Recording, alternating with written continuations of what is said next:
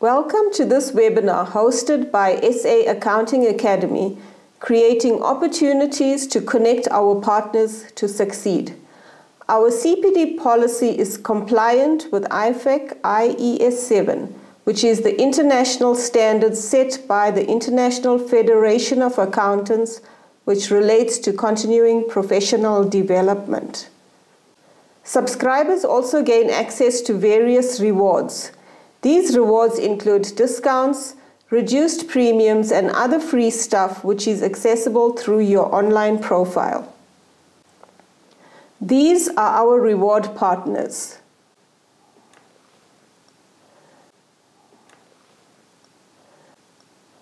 The webinar recordings, slides, additional material, and assessment will be available at the end of the webinar within your online profile. You can claim your CPD for this webinar at the end of the webinar through your online profile after you have successfully completed the associated assessment. Whilst every effort has been made to ensure the accuracy of the presentation and handouts, the pre presenters, authors, and organizers do not accept any responsibility for any opinions expressed by the presenters or author, the contributors or correspondents, nor for the accuracy of any information contained in the handouts. Copyright of this material rests with SA Accounting Academy, and the documentation or any part thereof may not be reproduced either electronically or in any other means whatsoever without the prior written permission of SA Accounting Academy. Feel free to ask your questions during the webinar in the chat. These will be addressed in the formal Q&A at the end of the presentation. The east coast to the west coast of South Africa, for those of you that are from Joburg, uh, Durban, Cape Town, uh, Port Elizabeth, as it used to be called, Pretoria, Cities I've grown to love over the last 10 years of working with various organizations, including South African Accounting Academy and SAICA. Uh, I'd like to welcome you to this first of um, three sessions that are going to introduce you to some exciting and dynamic management training that I know will make a difference. Let me just tell you about my background. Um, I qualified with a little company in the city of Southampton, England. That little company uh, is called Deloitte. But I yearned deeply uh, to be able to start my own accountancy business. And so, after qualifying and being a manager with a medium sized firm in the city of Bristol, England, I launched my accountancy business truthfully, the first day I sat there and thought, my gosh, what have I done? I'm, am I condemning myself to just a lonely future? Well, I soon got over those worries and concerns. I built up my accountancy business. It wasn't that big. We had 55 staff and we're turning over somewhere in the region of two million pounds, which I think at today's exchange rate is about 40 million rand. But then I just felt the need to try and continue being an entrepreneur. So I started a marketing company. My customers were all accountants. My products were marketing materials like budget reports, tax cards, newsletters, firm brochures. And in order to promote the company, I launched myself into the marketplace as a management trainer. So I established myself as a famous person in the UK marketplace and built up the United Kingdom's largest uh, training company and publishing marketing company for accountants. And then one day in 1999, and those of you that have started your own business, I suspect you would relate to this. I woke up at two o'clock in the morning full of fear and worry.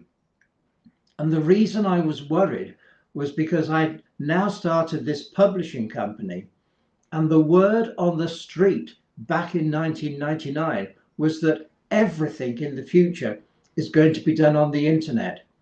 And I just built up a, a company that was grossing one and a half million, 30 million rand, selling to 1,500 firm accountants. And I thought that having left my successful accountancy business, I was going to be losing my publishing company. By eight o'clock, when my wife came down, she said, Where have you been? And I said, I've been worrying about whether we're going to have a company in the future. But during those six hours, I conceived what is acknowledged as the world's first shared content system, whereby one firm has the same content as another, apart from the unique things like about us and our services. And so we built up the UK's largest internet company for accountants. Um, 50% of the company was mine, 50% belonged to SIFT, who, if you go onto the internet and put accounting web, you will find the world's largest community uh, for accountants. Lots and lots of help and lots and lots of information. So here's a few signposts for you. But all of that time, uh, I have continued to be a, a, consultant to accounting firms. Some of you might have seen or even attended some of my lectures for the Academy and for your uh, South African Institute. So that's my journey. Uh, I learned about management because I needed to know how to manage a very fast growing accountancy business. You see, as today, institutes don't do a great job of training firms in how to manage the accountancy business. We use osmosis, how it's been done previously, what we think we should do. And what I want to introduce you to is to some formal training, uh, which I hope will help you.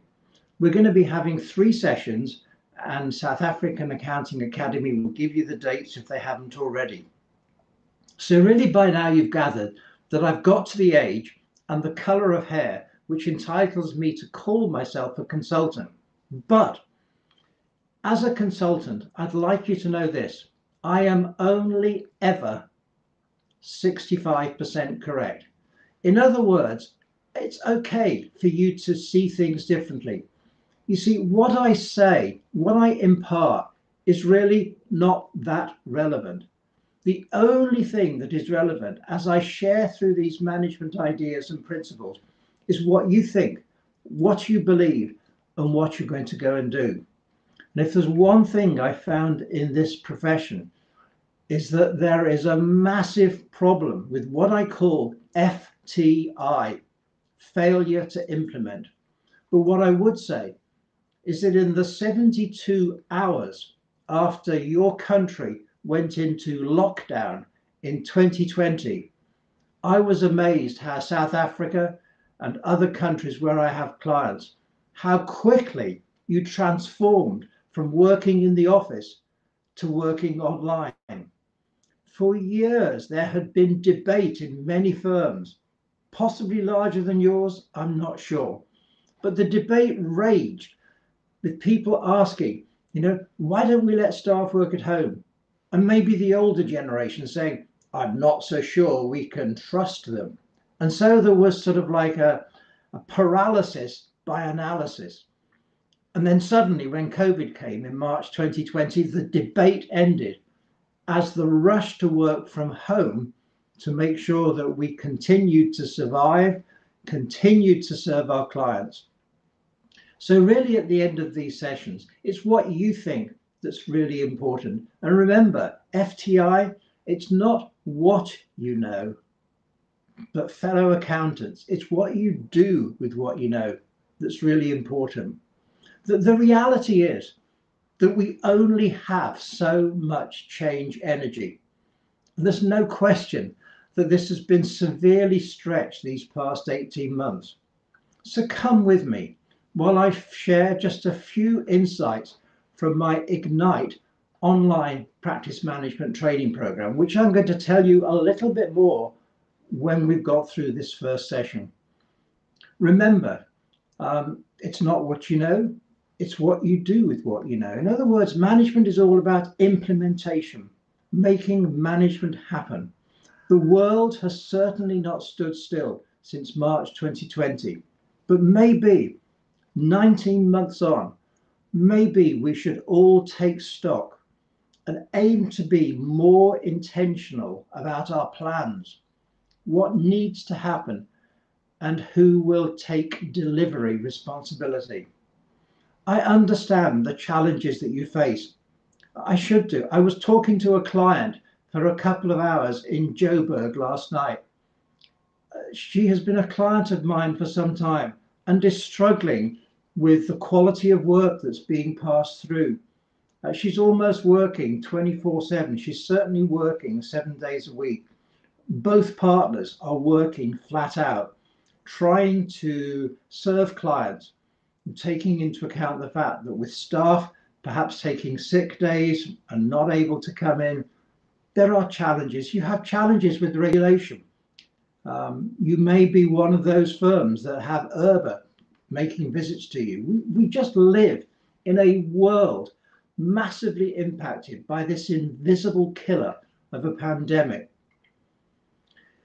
So, problems and challenges continue to reverberate although I have evidenced the resilience and the capability of accountancy business owners to address these challenges. During these past months, firms have demonstrated high levels of client service, speed of thought, communication, and action. And yes, I know it has taken a huge toll on so many of us, our staff, our clients. So let me just ask a few questions because management consulting always starts with diagnosis. I cannot dive in. And because of the nature of this workshop, I have to assume that you're going to consider the questions, make notes. But I want to ask you this How satisfied are you with what you do and the results you personally attain? What is your work life balance? Um, are you generating the income that you need? You need income to live today, to invest today, and also to provide for that day when going to work is not your first thought of the day. We call it retirement. And sadly, I know too many accountants who sort of retire but take work home. You know, you work hard, you serve your community. A good business owner should be capable of being financially independent by the time they're 55. Are you not a good business owner? You see, if you continue to work after 55, let it be because that's what you really want to do. I was financially independent when I sold my group of companies at the age of 49. And now, almost 20 years later, I'm working because I enjoy what I do. I love the people I serve. Are you winning enough business to enable your firm to grow? Incidentally, there are two types of accountancy business, and both are perfectly normal and acceptable.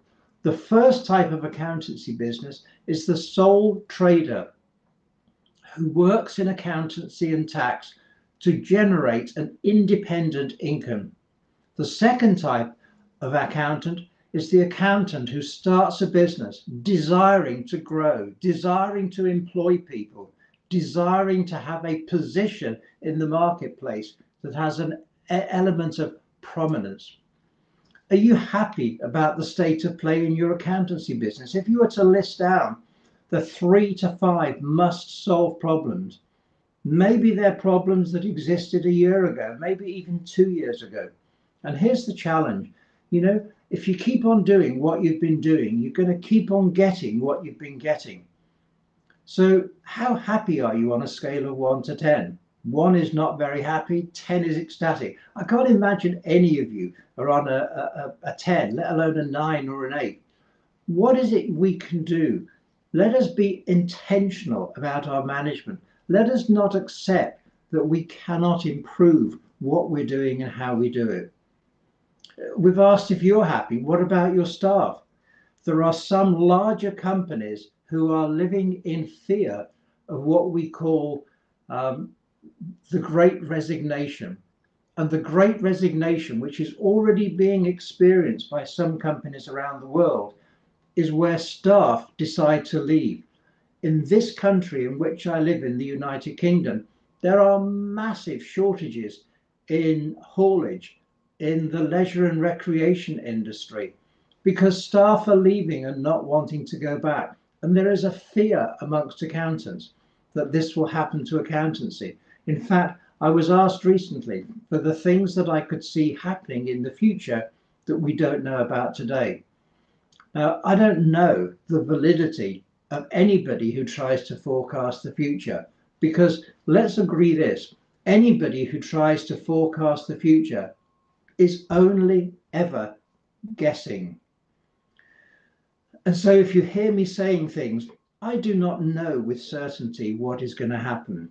What I do know is that I think it's massively important for you, service providers, to get to the end of your career, to be able to look back and feel that you were well rewarded, that you served your clients well, and if you're employing staff, that you were a good employer and you trained and built up the people who you call staff.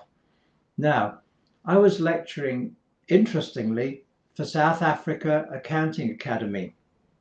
And I can't quite remember the lady, but there was a, lady, she was the HR director, I think, of RSM in Cape Town. And she came up to me after the end of my uh, session for uh, South Africa Accounting Academy. And she said, Mark, she said, we no longer call people staff. Now that came as a surprise to me. I said, so what do you call them? And she said, we call them talent. Oh, that was a new one to me.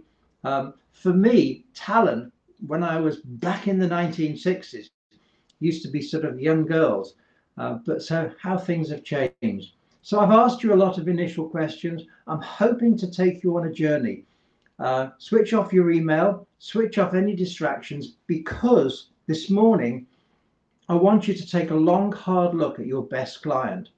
And your best client has to be the person, the firm that you call your firm. So I want to help you find the power and motivation from within and provide strategies that will give you impetus, balance, and increased profitability. We're going to look at your performance through our partner performance model. We're going to talk over these next three sessions about how you can position yourself as an advisor, somebody who gets paid for the business advice you give. So many accountants, perhaps in this area, should register as charities because they're so accustomed to giving away advice. We need to be able to identify our uniqueness and see how you can position yourself head and shoulders above your competitors. We need to ensure that you provide the services and the value clients need. Clients have to have certain services, such as some companies have to have audits, people have to file financial statements with SARS. And so those are services, they're, they're we call them compliance services. They're essentially driven by the past. 95% of the hours in an accountancy business are driven by the past. Last year's financial statements, last year's tax return, but 95% of your clients' energies and thoughts and actions are all about the present and the future. And the more you can position yourself as somebody who can help them to make a better future for themselves, the more you will create value, the more you'll be able to charge for the value you create, and the more you and your client will become locked in. In other words, as we move on from the compliance environment, which is increasingly being served by the technology companies, we have to have a uniqueness in the services we provide. And incidentally, the battle lines are already drawn in the future, as far as I'm concerned. And the battle lines look like this. Technology companies can provide at an instant the results that you provide. They can populate tax returns, they can populate financial statements, profit and loss accounts, and balance sheet. But these statements that they provide are based upon the inputs from your client. There is no assurance with the work they do. And that is where your uniqueness in giving assurance, reassurance that your client is paying the minimum number of rands in tax absolutely possible. What we have to do is to speed up the delivery of our work because technology companies will deliver it instantly. And we have to move on from pointing the finger at the client and say the reason why we're so late is because the clients do not provide the information. We must get to the point where our lockup, that's debtors, including VAT, and work in progress at realizable value, we have to drive down the lockup to the point where maybe it's no more than 10 to 12% of our gross income. You see, many accountancy firms have lockup exceeding 25% of their gross income. In my view, that's prima facie evidence that they're not providing a timely service. It's okay to blame the client. No, it's not. You see, remember when you point the finger at the client, there are three fingers pointing at you. What we have to learn to do isn't to fix people, we need to improve processes. How can we upgrade client loyalty and transform clients so they become advocates for your firm? How can we identify those clients who truly need the additional service capabilities you can offer them? And how do we develop closer, richer, trusting relationships with clients? Think of a triangle. At the bottom of the triangle, there is trust. And over here, there is confidence. Unless the client has trust and confidence in your services, in my view, you do not have a professional relationship. You have, if you like, uh, a product relationship where they come to you just to do the numbers. And there will be those clients in that category. But what we want to try and do is to develop a close relationship so that we're not just the client's trusted advisor, but we become the client's most trusted business advisor. We're going to look during these sessions at how to develop outstanding service so that clients become advocates. We're going to look at how to improve job satisfaction for yourself and your staff. No, forgive me, yourself and your talent. And we're going to look at how we can improve profitability. We're going to do that in this first session. At the get go, I am going to demonstrate and prove to you that I can help you to improve profitability. It's important that we learn to work smarter, not harder. I am not going to give you a smorgasbord of ideas and solutions that will have you working harder. We've been through decades of that in this profession. No, we need to work smarter, not harder. We're going to look in our next session at pricing and billing. Um, I was with a client for two days at the end of last week and it took till the second, sorry, the, the afternoon of the first day before I suddenly realized in asking them a question that they have got costing records, but they never look at them when it came to determining the price. And I realized there was something wrong when they told me that their potential gross income was about a million pounds based upon the capacity analysis, but their income was only 500,000. In other words, they were only realizing 50%. Typically, an accountancy business should be realizing 85% of recorded time. And so we're going with them on the journey to look at how we help them to make more profit. Incidentally, one of the most important numbers in your accountancy business isn't the fees, isn't the charge rates. Here's what I'd like you to do. calculate the number of chargeable hours that are invested in the firm's services. So calculate your chargeable hours, the staff's chargeable hours, and divide that into your top line, into your sales. The resulting number will give you the actual revenue per billable hour. What was it one year ago? What was it two years ago? What is it based on the budget? If there's one number I want you to focus on driving up, it is the revenue per billable hour. Whilst we're into numbers, because we're all accountants here, here's another number. Take the total number of clients you've got and divide the total number of clients into that same top line. The resulting number is will give you the revenue per client. And again, what I want to ask you to do is to drive up the revenue per client.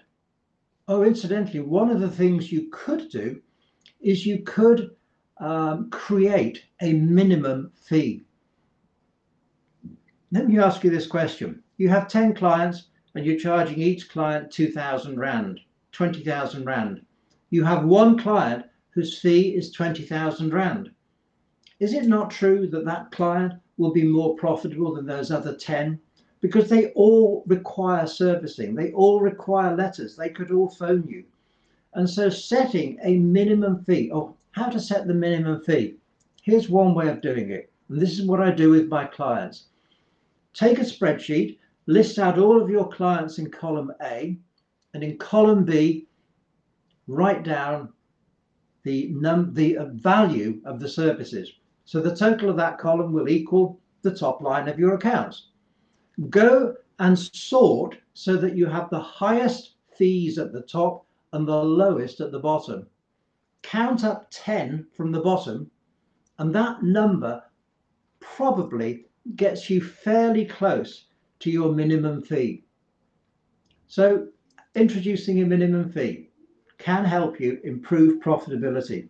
Incidentally, there are probably some clients that you've had who are no longer appropriate for your services. My client last night in Joburg, we were talking about the fact that we have to drive down the amount of number of clients that we serve because my clients are just not surviving. They are in severe danger of health issues and they recognize that. And so, are there clients that maybe perhaps could be better serviced by somebody else? We're going to look at how to avoid price disputes. Um, incidentally, why do clients leave? Some people say, oh, they leave because the fee is too high. No, clients never leave because the fee is too high. Clients leave because the value isn't high enough. And think about it. If 95% of your work is based on historical, the only reason the client's coming to you is because, first of all, they know that they have to file, and secondly, they trust you to help them minimize their tax bill. What we want to try and do, oh, incidentally, when you have finished your accounts, you may meet with the client, you may send them a letter. And in that letter, you will record the amount of tax they have to pay. And in that letter, you may well include a time bomb. Oh, sorry, I don't mean a time bomb. I mean the invoice. And so the client, first of all, has to accommodate to the quantum of the tax they have to pay SARS and nobody likes to pay a rand more than is necessary. And they also have to accommodate to the fact that they've got to pay you for doing it. No wonder clients sometimes drag their heels in submitting the information to you because first day of their new financial year they don't really get excited about preparing and submitting everything to you it's not the first thought on their to do list for the day after the year end. The client the entrepreneurs that you serve, the people who are selling their time. They want to get out and make the next year, make the next month, make the next week, make the, ne- make the next day successful, profitable. They want to do their business. They know that when they give you the financial statements, they're going to find out how much tax they owe. And so, what we need to do is to transition our services, as indeed the way in which our services are being prepared by technology companies. We need to meet the challenge, and we are able to meet the challenge. Use technology to improve timeliness and use your ability, your personal relationship with the client to help the client become more successful and more profitable. Winston Churchill. Um, oh, here we go. Somebody said to me the other day, Is that a virtual bookshelf? Well, if that's a virtual bookshelf, I couldn't do that. So here is a book by the statesman uh, Winston Churchill. And Winston Churchill at Winchester Boys' School when he was giving a speech, gave the shortest ever speech. He simply stood up in front of the boys and said, Never, never, ever give in. And so that's my advice to you. Uh, don't be a quitter. Work harder, but work smarter. Remember that every day you have is a gift. None of us can assume that we're going to even be alive the next day. Um, I had a pretty awful situation a week last Friday. Uh, my wife was taken to the hospital in an ambulance with a suspected heart attack. Um, and as I waved goodbye to her in the ambulance, I wasn't able to go with her because of COVID. I, I honestly wondered whether I was going to see my wife again. Thankfully, she came back later that day. She hadn't had a heart attack, but she had contracted COVID. And this morning, 10 days after she was tested positive, our National Health Service system uh, announces that after 10 days you're free from COVID. So I encourage you, take small steps. Do you know, change energy. It is recognized by industrial psychologist consultants that an individual or an organization can only manage between five and eight changes in a 12 month period. And five is a much more realistic number than eight. Now, whilst that's what industrial research psychologists tell us, personally, I think in 2020 that number went through the roof. I mean, you did so well accommodating to this killer of a pandemic. Some of the challenges that firms have, uh, I mean, going forward, as staff continue to work from home, one of the challenges that we are facing in the accountancy business is the cry for WFH, working from home. Incidentally, if you go onto my website, ignitepracticemanagement.com, ignitepracticemanagement.com, you can sign up for my bi weekly blogs. One of the topics this year, I think I've written about five blogs on working from home. My latest view, for what it's worth, is I'm encouraging firms not to take the decision to integrate a compulsory entitlement to working from home there are clamours from staff who now are seemingly more in control of their work and where they work than ever they have been in the past. In the old days, employers were in control.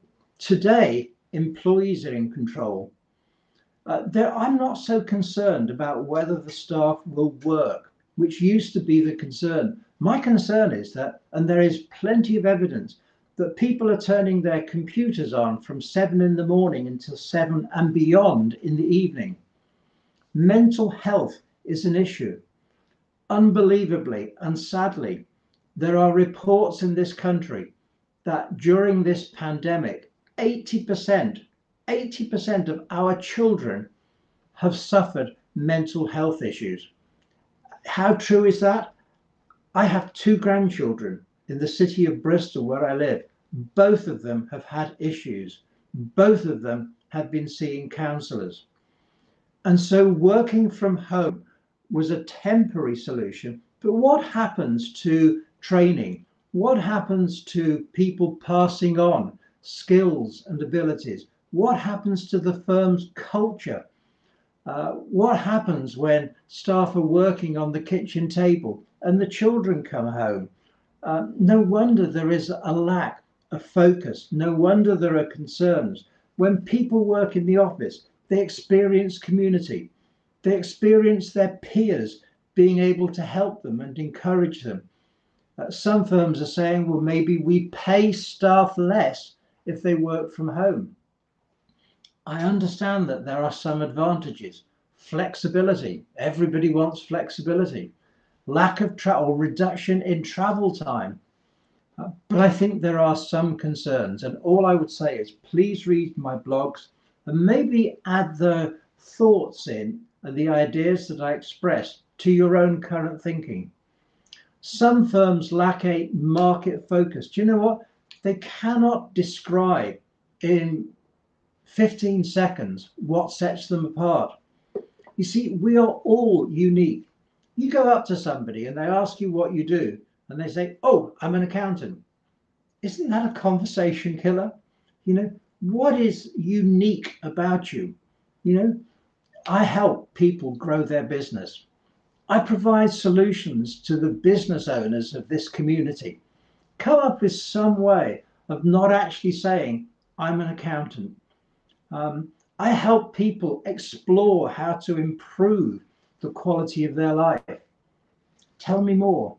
I have one client in Manchester, England, who used to say to his um, professional referrals and even to some of his clients, uh, I'm a, I'm a, what did he say?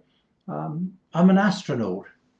That certainly got the attention. An astronaut is so exciting. I tell you what, about two years ago, I was on a journey back from London at a time when there was a short strike. And so for two hours, Paddington Station, which is the station that you use to get to the west of England, was just filling up with people. Eventually, I got onto the first train and I was in the corridor of the train, and everybody else was pushing around me. Uh, I thought, well, do you know what? Let's start a conversation here. So I said to one gentleman, I said, So what is it you do? He said, I'm an IT consultant. Well, that's just about as exciting as being an accountant. He said to me, What you what do you do? I thought it was much easier just to say I'm an accountant. So the conversation went nowhere. But there was a lady in front of us, and I said to her, um, What is it you do? And she said, I take people up in hot air balloons. And so we started talking to her. She got her iPad out and showed us some photographs. It was interesting to listen how she trained and the safety procedures and the people that she's taken up. So make sure that we've got a clear market focus. Make sure that you have a clear USP that distinguishes you from other people. Some firms partly through COVID, but partly through natural attrition, are experiencing an eroding client base. In the United Kingdom, we have already lost 10% of our clients because our tax authorities allow small business owners to submit three numbers. That's all the taxman wants sales, costs, net profit. That's all the taxman wants. And figure three comes as a function of one and two. In the future, here's what's happening in the United Kingdom. And incidentally, can I just say, SARS follows very closely what HMRC in the UK do, as I have noticed from some of your legislation while working in South Africa. And so we need to make sure, where was I going with this? Um, I took my eye off you all and I just looked at the field where there are six deer. So I need to get back on track. So some firms are experiencing an and if you think I have a script for this morning, I haven't. forgive me. Um, so some firms are experiencing an eroding client base. Clients are being stolen away. Oh, I know where I was going. So 10% of clients we've lost because of three line accounting. 10% of clients we are going to lose because of what is known in this country as making tax digital. And here's what's happening. In 2023, businesses are going to have to submit quarterly accounts to the tax authorities. And it's a challenge for accountants who are already in arrears. It's a challenge for clients who now, within 30 days after the end of each quarter, have to endure submitting figures to the tax, authorities. Here's my prediction for the profession in the United Kingdom. Is it true in South Africa? We've lost 20% of our clients or are about to lose them. The remaining 80% will require three or four more times work than currently you're doing from them. I encourage you to take these sessions as we come towards the back end of 2021 and create some plans to describe what you have to do to build a business that is going to be fit for purpose for serving clients.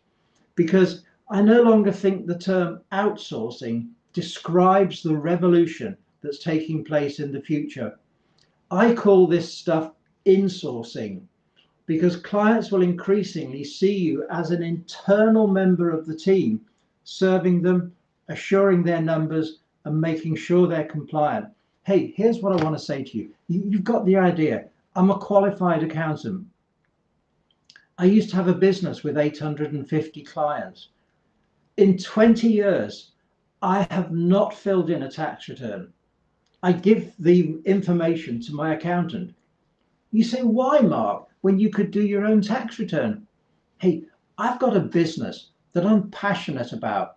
I love doing my work as a management consultant. I love writing articles in the hope that somebody will get some benefit from them.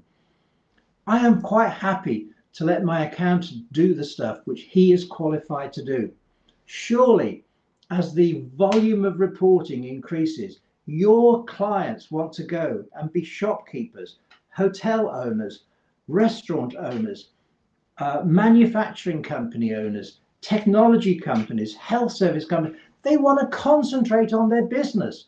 That's why you personally are massively important. The client doesn't want to keep tapping information in and thinking, is this right? Let them come and engage with you. Present yourself, who is somebody who is up to date and able to help them. You will not then suffer an eroding client base. Some firms are enduring low billable hours. Here's my metric a firm owner should be doing a minimum of 1200 chargeable hours a year. 1200 chargeable hours. We're going to be looking at a metric later on, so I won't go into further detail at this point. Some firms are not particularly proactive in the area of marketing, or can I call that business development? Accountants don't like the term marketing or at least if you do, there might be somebody in your firm that says, well, I didn't come into this business to do marketing. So they're not as proactive in business development. Or some people say, ah, oh, there's a boom going on. There's clients everywhere. We don't need to market. Or then they say, oh, there's a recession. Can't afford to market. Here's what I want to say to you. We need to have a consistent approach to marketing there are two major commitments in the marketing activity. The first one is I do need your cash. Typically, consultants around the world recommend that a, a minimum of 3% of cash of your total firm revenue should be invested in marketing. But what is more important isn't your cash. What's more important is you, your time. People do business with people. And although there is an increasing amount of activity being done through things like social media, I find many accountants are not really engaged with social media. You know, what we can do and what we have learned is there has been a tipping point as a result of COVID. And the tipping point is that now, like this morning, people are prepared to meet online. The beauty of this morning is that while I'm teaching, you don't have to travel to a seminar room. Hey, importantly for me, who lives between the cities of Bristol and Bath, I don't have to get on a plane and fly 11 hours to Joburg and get to Oliver Tambo Airport and work my way through all the queues and what have you. So let's think later on in these sessions a little bit more about business development. Other challenges, uh, I have two clients at the moment. Uh, I was with one uh, about a month ago, and on Tuesday and Wednesday, I'm going to be with another client. And we are transitioning the firm from the founder, and in both cases, we've done an MBO or an MBI, management buy in. Uh, many firms have not got planned succession. The next generation of leaders has not been identified and given the encouragement to grow. Incidentally, Ignite Practice Management is an amazing program based upon 35 years of my experience, covering a whole gambit of areas designed to help your next generation of leaders grow and be equipped.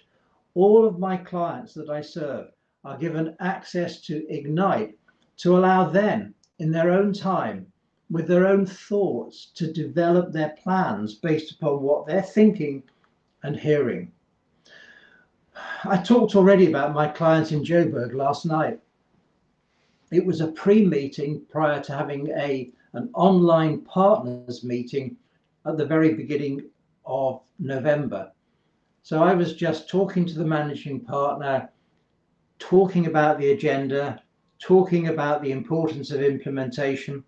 Too many firm owners are devoting too much time at the cost to their personal lives while others perhaps have opted out of devoting enough time to what is, I acknowledge, in these COVID days and in the days of SARS and in the days of IRBA, an incredibly demanding profession, especially as we have clients who are more demanding, shouting out, Help! How am I going to survive? Change is all around. Uh, and so, as a result of there being so much change, people are aware of the change, but today we're just busy, busy, busy. There isn't enough resource to get done the work that we're doing. And planning is just not focused on the needs of tomorrow. So let me come alongside you as a coach. I hope in the first part, excuse me a minute, I hope in the first part, where I asked you some questions, you might have got some questions written down that are appropriate to you. In the second part, I've tried to give you some propositions to challenge your mindset. And again, remember, you really don't have to agree with me. I guess if you really don't agree and don't like me, you'll have switched off and probably you're not hearing this. But please stay with me. This is not about liking me. This is about your mind going through a journey with somebody who has got a track record for over 35 years of working with global firms around the world, sole practitioners, two, three, four partner firms. You see, top sports teams hire coaches. Uh, Ronaldo, one of the best players in the world, um, has a coach.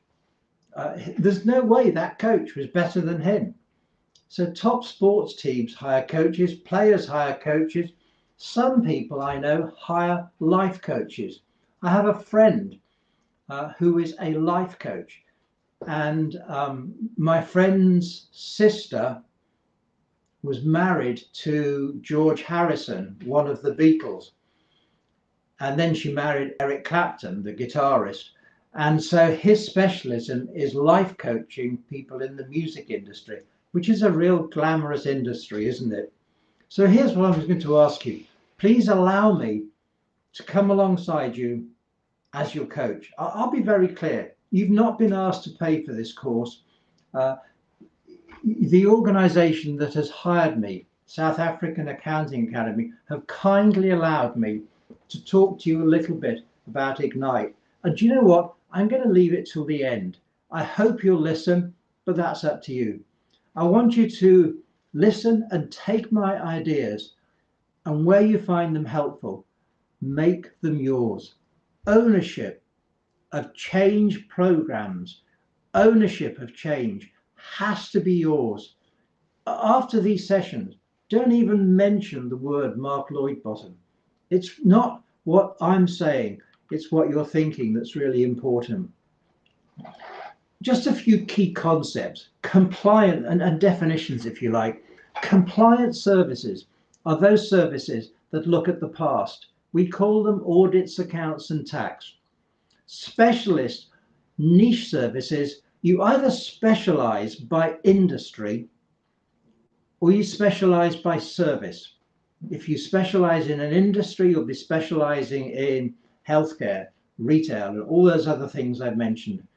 If you have a specialist service, you have a service that can apply across at least 80% of your clients. So it could be uh, management accounting, it could be wealth advising, it could be VAT consulting, it could be a whole host of services some of which you will already have delivered because your clients have asked for them. And that's a clue as to the services that you should be developing.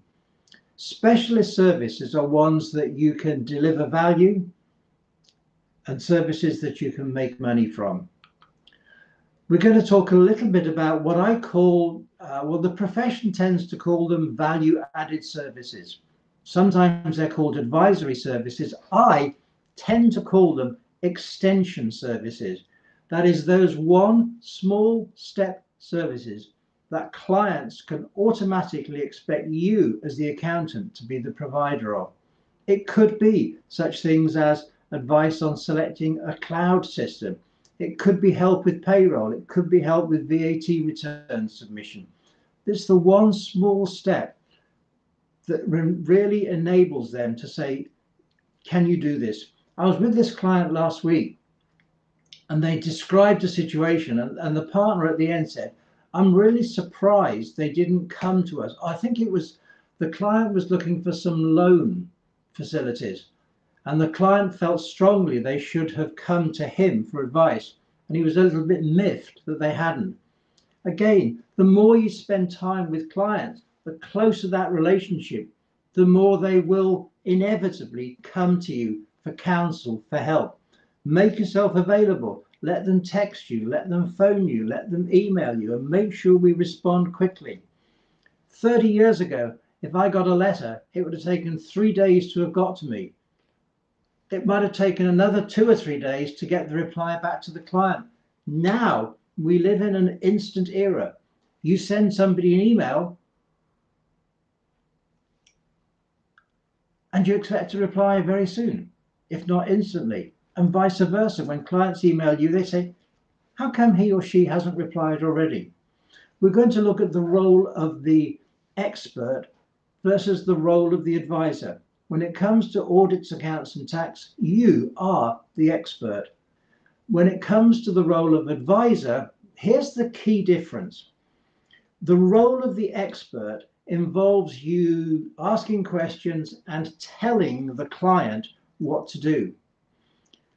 The role of the advisor is diametrically opposed to that model. When you are doing business advisor, it is not about you giving solutions. Remember ownership. What you have to do is ask the client questions and explore and enable the client to come up with their own solutions. You can give a few prompts, have you thought about this? But we need to make sure that we allow the client to come up with a solution. It is tempting and irresistible at times to give people solutions, but ownership is important. You see, if you give them the solution and they don't implement it, then uh, they've paid your fee, hopefully. They haven't done anything other than perhaps let you down. But when they come up with the solution, if they don't implement, they've let themselves down. We're going to focus on chargeable time or time on as I sometimes refer it. And I'm going to distinguish in your chargeable hours between what I call visible time and desktop time. We need to talk about the importance of nurturing your talent. Remember, they are actually volunteers. As some firms have found out, they can hand their notice in and leave. The other thing, perhaps radically, I'm going to tell you very clearly that some of you have to move on from what I call 20th century billing practices. Some of us are so rooted in a century that ended 21 years and nine months ago. So listen out for that. You'll find it, I think, challenging and interesting. I'm going to talk about the fact that all time is an investment. And from that time, you expect a return and clients expect a return. Here's what I always say your fees uh, do not cost the client. We're a profit center. We have to make sure that the client can recognize the value that we bring. And I want to make sure that we talk about some components of outstanding quality. So, as accountants, we must make the best use of our time. After all, it is not a renewable source. Uh, in about 12 days' time, in the city of Glasgow, Scotland, 400 miles from where I'm sitting, uh, we're going to be seeing COP26. 25,000 people are descending on the city of Glasgow to talk about the climate crisis. And boy, is there a crisis. We all recognize that. The number of floods, um, the number of um, times that cities go without rain, um, our next generation, our children, our grandchildren are going to suffer. At the very highest level, if you have got grandchildren of five years of age, or even children of five years of age, by the time they're 65, at the upper end of forecasts, make what you will of forecasts, at the upper end of forecasts in 60 years' time, global temperatures will have increased by 8 degrees and you can't rubbish this. You can say you don't agree with it, but we cannot keep putting off the decisions about our climate. So the difficulty for all of us lies not in listening to someone like me and others with new ideas. The challenge is moving on from the old ones. In other words, those ways of doing things which are familiar and comfortable. We, we serve in a profession with massively wide ranging performances. I have one client who about 15 years ago I met, and when I first started talking to him, I found out he was working 4,000 hours a year and only making 9,000 pounds. What's that? Um, 180,000 rand. It's just unbelievable. And yet I've come across other firms. I have clients in London who are making £400,000 per partner. What's that? 8 million rand? I just want to ask you this question. And incidentally, I can remember my first day in the office when I was just coming out of full time education. I went into the office and I saw the young lady behind the desk called the receptionist. I thought she looked absolutely gorgeous. And then I found out that it was my job as the latest member of staff to make coffee. And when I went down to make coffee for the staff, there was Susan, this receptionist. You see, it's just like yesterday. And yet now, um, I, I passed state retirement age a couple of years ago. And I look back and I think, gosh, you know, some some of those thoughts are just still very vivid. And I want to ask you this: What does it look like when you roll your thoughts forward and imagine you are close to retirement day. And I want you to go forward. For some of you, be five years. For some of you, it may well be 25 years. And I want you to roll forward in your own private time and look back and reflect on your career. What is it that you wanted to achieve? And all I would say to you is as you open your eyes, maybe, and come back to today, what is it you've got to do to make that view of your career a reality? When I met my wife 46 years ago, I said this to her. It was part of my chat up line, I think. I won't always be an accountant. I intend to have three businesses. I don't know where it came from, but it kind of stuck with me. And today, as I look back, I've actually, if I count this consulting career, I've actually had four different careers. And if I was to be unable to work tomorrow, I know that I am satisfied with what I've done. You've got time to make a difference to your future. What is it you want to achieve? it might take time to execute your plan. I'm meeting with this uh, two partner firm from Joburg, and because of the dire situation, I said, We're going to create a plan that starts on the 7th of November and you're going to finish 25th of January before you get to the February. And I then said, On the 7th of March, we're going to pick this up and we're going to run with it right the way through 2022. I'm determined to be their accountability buddy to make sure that the problems they're experiencing, which have been there for 10 years since I first met them, are dealt with once and for all. So there are three core ingredients for a remarkable accounting firm. First of all, to look great. Secondly, to sound great. And thirdly, to be great. If any of you know Michael Carter from Australia and practice paradox, you will recognize that from Michael. So I read that from Michael one day and I thought, that's really good. Look great, sound great, be great. So here are three, my three ingredients for a remarkable accounting firm. We need to be smarter. We need to be better than others. And above everything else, we need to be faster. I've got a question for you. What is the purpose of a business? Well, I ask that question of accountants, and accountants say to make a profit.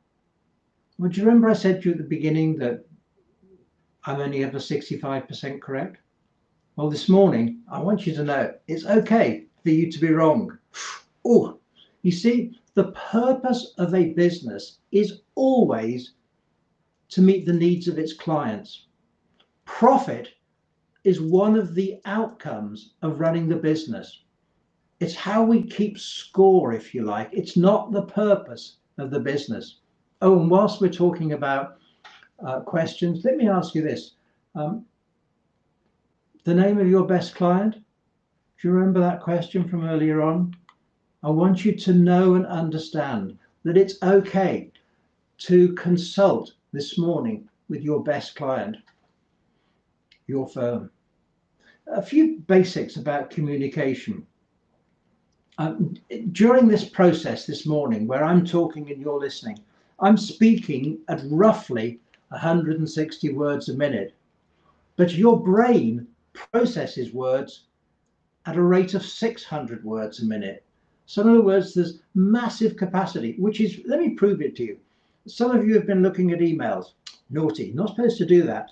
Uh, some of you have given little messages to staff who've walked in. Some of you have been thinking, do I agree? Do I disagree?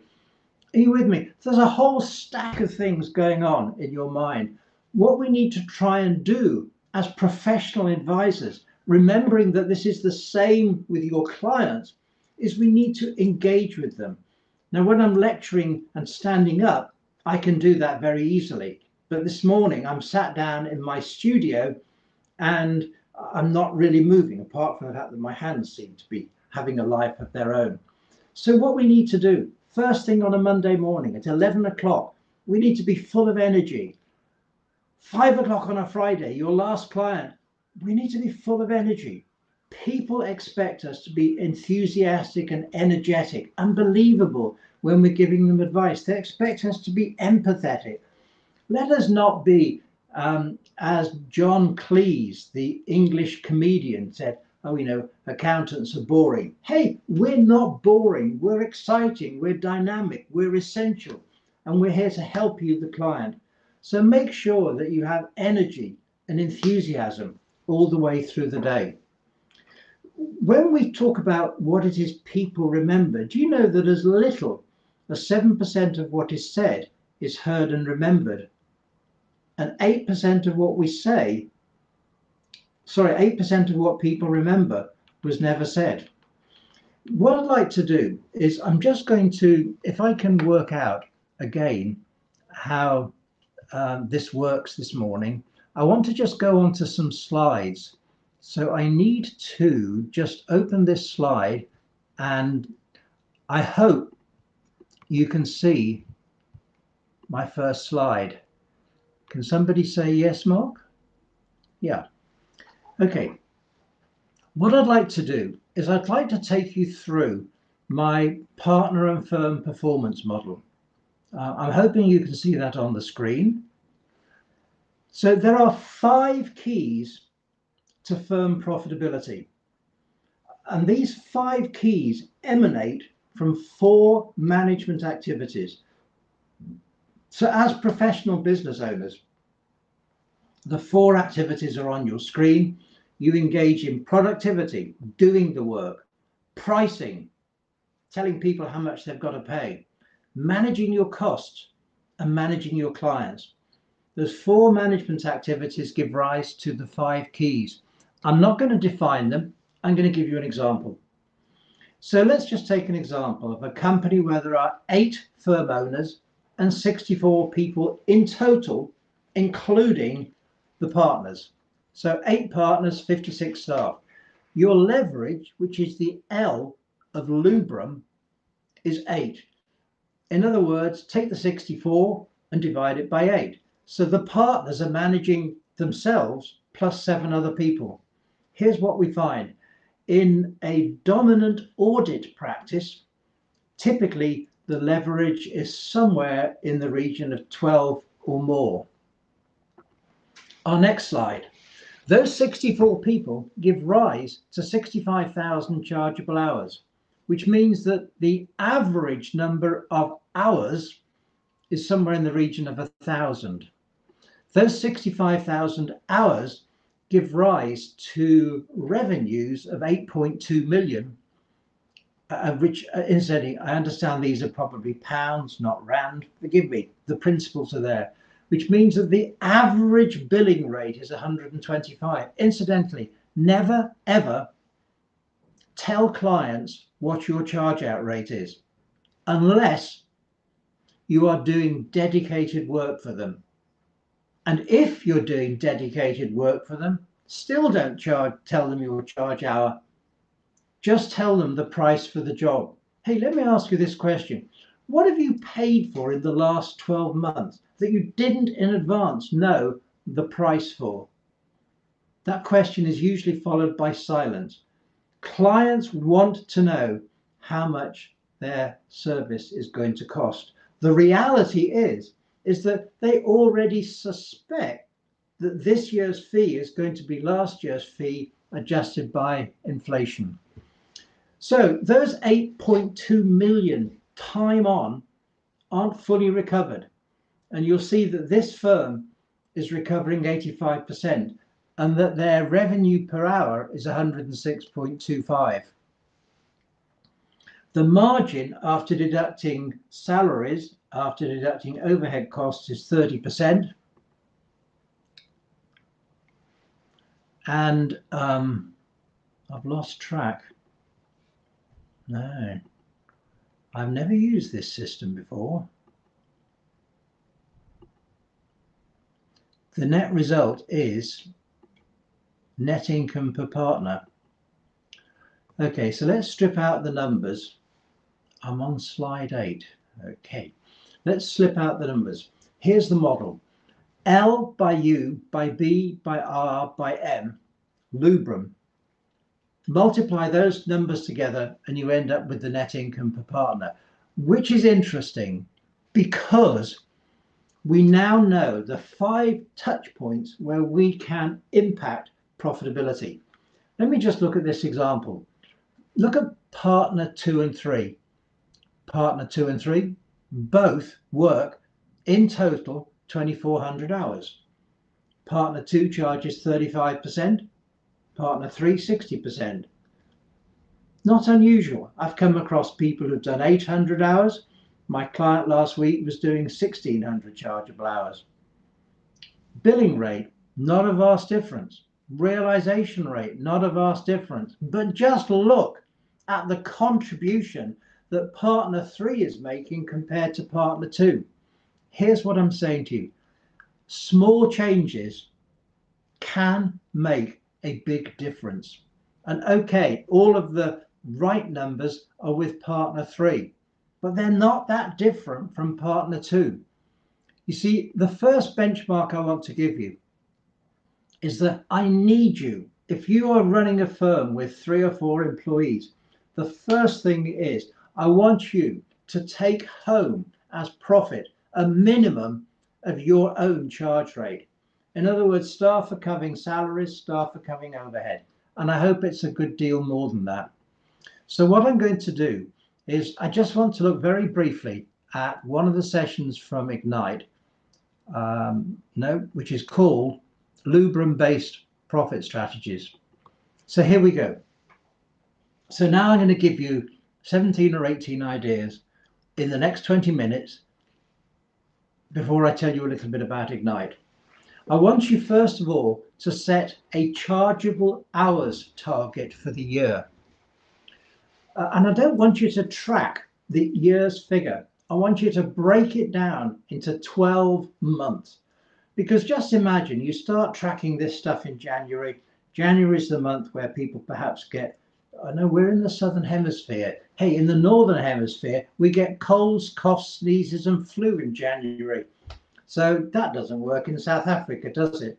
So let's just assume that in the first month, perhaps you're unwell, and maybe at the end of the month, for whatever reason, you don't quite make your monthly target. And then the second month, you struggle, and then very soon you've lost interest in your annual target. Break it down chunk by chunk into 12 monthly targets. Celebrate the months when you exceed your target and move on from the two or three months where perhaps you don't succeed in achieving your target. Always always capture your time daily. Hey, we used to keep timesheets, manual paper sheet, but now we do it in, on computers. And guess what? Still, people at the end of the day aren't capturing all of their time. I can't think of anything worse than going home on a Friday not having dealt with the daily time recording. I mean, it's Monday morning. Have you filled in your time records for last Friday? Uh, if not, do it in about 25 minutes time when I've finished. Recognize that an hour only has 50 minutes. It's okay to go and get a cup of coffee. It's okay to go to the restroom. We need to make sure that, you know, an hour is not, don't write off an hour every day for the normal personal activities. They're part and parcel of serving the client. Uh, so um, if any of you have ever seen, I wrote a book. I'm going to have no books left on my shelf. This was published by Syca, and it's called Clients for Life. And uh, one of the modules is called Developing Outstanding Client Service, because I found lots of new great ways to super serve clients. One of the things I encourage firms to do is to develop a structured plan for meeting with clients whereby you meet with some clients, your best clients, before the year end, after the year end. And those are two essentially compliance meetings. So if they're your best clients, we take you through how you can improve the service by meeting with clients for two non compliance meetings. Remember that you always manage what you monitor. So, no burying our heads in the sand here. Make sure that you track every single week what you're doing. And I'm going to take you through in one of my next sessions on a little module on how to improve job profitability. And let's move on to R. We need to remember to bill people promptly. What I always say is this we need to learn to bill our clients while the tears of appreciation are moist on their cheeks. You know, and that's why lockup, that's why work in progress needs to be within 5% of your annual income. Can I tell you this? Um, the top 200 firms in America, on average, have work in progress of 5% of their annual revenues. And if 200 large firms in America can do it, don't tell me you can't. We need to improve our processes and our communication with clients. Hey, let's just imagine you've got this 21,000 Rand client. Don't wait to send them a 21,000 Rand bill. Uh, you might use uh, debit orders to get paid monthly. Uh, you might send out interim bills. And if you're going to send out an interim bill, don't allow those two interim bills of 7,000 to be outstanding as you finish the job. It might be off work in progress, but before you know it, it's in the 90 day column. If there's any balance in your 90 day column, can I tell you what that tells you? If there's a balance in your, even in your 60 day column, it tells you something. It tells you this the client has a problem. Now, maybe they have a problem with some of your work, in which case, surely you, as the partner, need to get onto that and address it. It could be that they're not paying you because they have cash flow problems. Again, that's another flag to get in touch with the client. Or thirdly, it may be that the client is abusing you. Hey, they pay other people within 30 days. They pay for their cell phone within 30 days. We are their most trusted advisor. It is unacceptable for clients not to pay you. Hey, we need to have real attitude here. They are not going to abuse us like they are. Oh, and incidentally, the fee fixed fee trap is simple. And it's simply this. When you bill by the time, the risk for the cost is on the shoulders of the client. If you take 10 hours, you're going to bill them for 10 hours. If you take 20 hours, you're going to bill them. So they will try and manage your time as much as possible, or they'll quibble when they see your fee note. But if you bill on a fixed fee basis, the risk is reversed. And you need to manage that risk because now the risk is incumbent upon you. And again, in Ignite, we talk through the ways in which you can guarantee to manage that risk. Realization. Uh, we need to make sure that we look at jobs where there's consistent under recovery. Uh, perhaps we can let staff do the billing. And above all, we should under promise and over deliver. So now we're going to move on to look at billing rates. A few things. First of all, make sure that you increase your charge rate by two times the rate of inflation. Ah, oh, Mark, we can't do that. Nonsense. Of course you can. I'm only asking you to change the number on your computer system.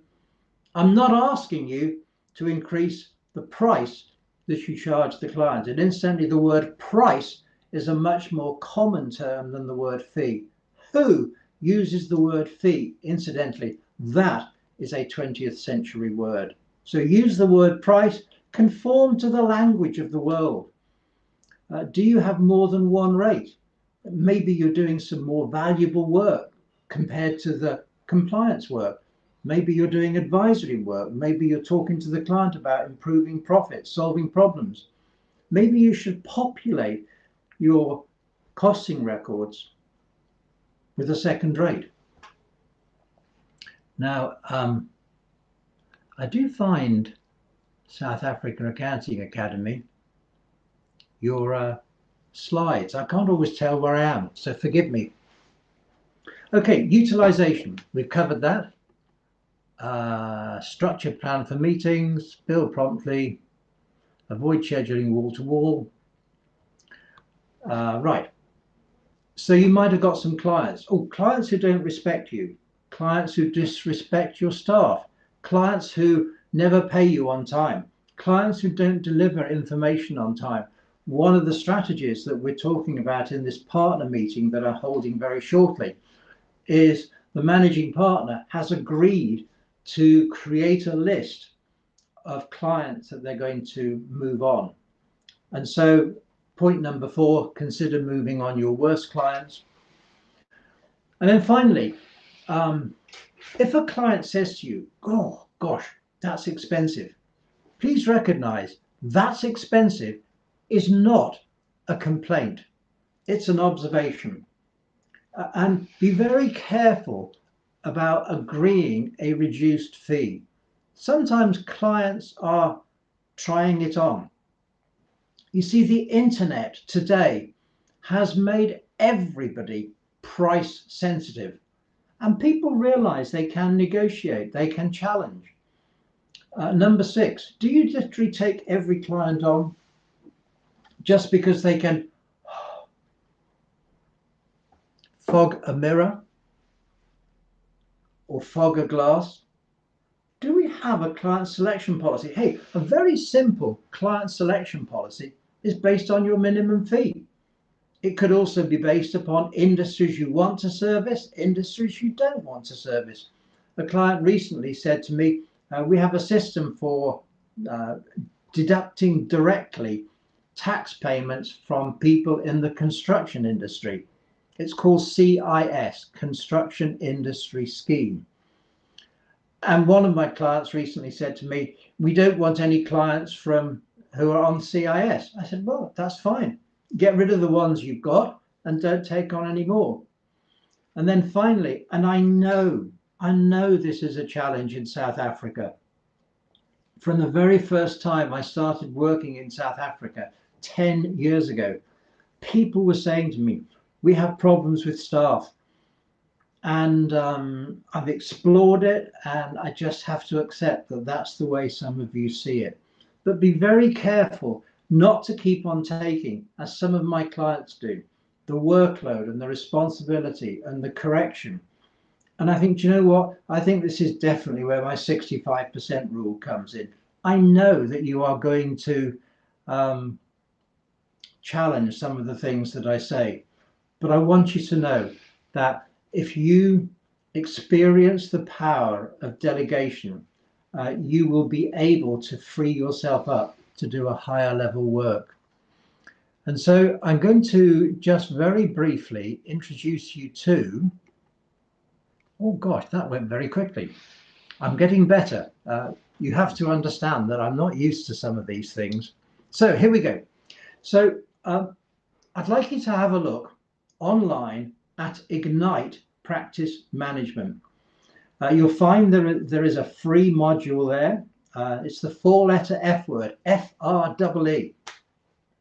Every single one of the seven modules, uh, I've taken a very brief look at um, the first one, which is Kaleidoscope. The second one is delivering outstanding client service. Each one has a little short film of about 10 to 15 minutes where I'm talking about what it is you'll learn. And if you go on to Ignite, you'll find that each of the pages for all of the programs tells you exactly what you're going to get. It tells you about the sessions. It gives you free downloadable files. And there's just huge value. And ultimately, can I also tell you that if you invest in Ignite, which in total is 24 hours of training if you don't think you're getting value, you just simply click the button and you get your money back. So very briefly, um, through uh, the agreement I have with your academy, uh, you are entitled to a 30% discount. And uh, although the price there says 797 pounds, uh, that's because this is coming to you on a fixed slide uh, I'll give you the RAND cost very shortly. So Ignite Practice Management, which has built in a discount compared to buying each of the programs separately, uh, that has got seven modules which in total is 24 hours. It's got a series of 60 plus films, and those films last about 10 to 15 minutes each. So it's all broken down into very easy to watch modules. So the first module is Kaleidoscope. We've covered a few components of it, and I hope that that has demonstrated the value. Kaleidoscope is somewhere in the region of six hours of material. So we have only scratched the surface. And somebody has said, am I going to download the, the slides? All of the slides, uh, plus, plus, plus, plus, are all available online and uh, you can see them online. Secondly, perhaps the subject that I'm known for most is how to improve uh, client service. And I wanted to come up with a, a, way of describing it which was different from before. So I've called this four hour program the dynamics and rewards of outstanding client service. Moving on, um, probably another of my flagship programs, bill what you're worth and collect what you bill. I think I've just said one or two things which are embedded in this program.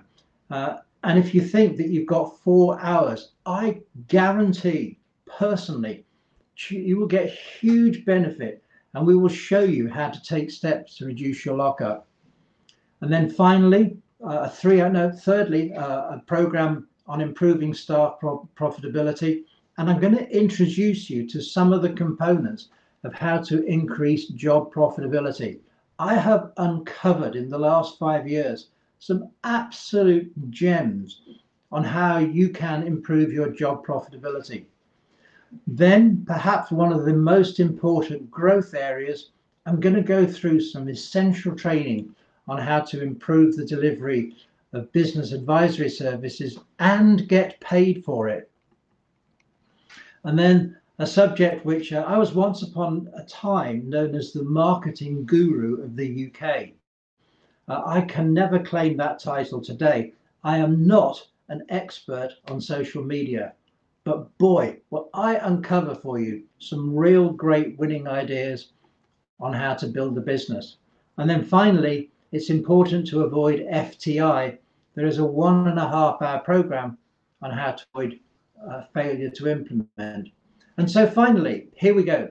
In Rand this time, if you were to invest, uh, you're not spending money, I guarantee that you will make profit. As I hope out of this free session, you've got some good ideas. If you use the code SAAA30, the cost for the whole program, if you go for all seven, all 63 sessions, all 24 hours, the 300 page manual, massive number of downloadable files, and a certificate to say that you've graduated in practice management. The cost, the investment after your 30% discount comes down to 11,000. I hope, like the many others who have invested in this program, that you will find this of value. And there we go. I have spent the last uh, hour and a half, bar four minutes, uh, timeliness is important. Whenever you start a meeting, always start on time. Uh, don't wait for those stragglers to come because that says to those who turn up on time, uh, your time isn't worth it. These people can turn up late. And importantly, always make sure that you finish a meeting on time. And I like to think that with three minutes to go, I can now hand back and again, forgive me, this is my first online session for uh, South African Accounting Academy. And I wonder, is somebody from the Academy going to come online? Or am I going to be the one that says, thank you for attending? I'm going to wait 10 seconds. If there are any more questions, put them on the chat pad. Um, tell me if it's been a help to you. Um, tell me what you've got out of it. Um, remember, it's not what you know, it's what you do with what you know that really counts. Some of the action points look at your chargeable hours. Uh, some of the action points look at your revenue per um, billable hour. Um, what about looking at the revenue per client and how you can drive it up? Have you got a business plan? Hey, do you know what? Uh, I've asked accountants uh, all across South Africa, how many of you have a business plan? The answer is probably based on hands, about 25%. If you don't have it in writing, you don't have that same commitment. Even as a sole practitioner, I used to take myself off for three days on a retreat. I would study, I would write, I would create help sheets for clients. And I just wanted space to be on my own from the noisiness and busyness of uh, what in those days was 20 people who worked for the company. So, uh, South Africa Accounting Academy will be telling you when the next session is. Here's what's coming up. We're going to look a little bit more at client service and we're going to look a little bit more at pricing and billing. Again, my guarantee is that you are going to make some investment in time, but from that investment in time, I promise you that you will get ideas, creativity, challenge, and hopefully um, uh, somebody who has been around a long time might still have relevant ideas to help you youngsters serve clients, serve the community, uh, make a good profit, uh, enjoy a good work life balance, and have a load of fun in the process. So, with that, I am going to sign off. It is now exactly coming up to 11:30. I wish you well for the rest of the day, for the rest of the week. If any of you wish to email me, my email address is mark at marklloydbottom, all one word, dot com. Mark at marklloydbottom.com. Thank you for your time. Thank you for your participation. Uh, I'll see you again next time. Thank you. If you have any other questions, please use the chat. If you would like to email a question, please email to technicalquestions at accountingacademy.co.za. Thank you for your participation. We hope to see you next time.